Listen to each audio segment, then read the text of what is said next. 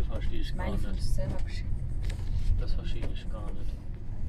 Was die mittlerweile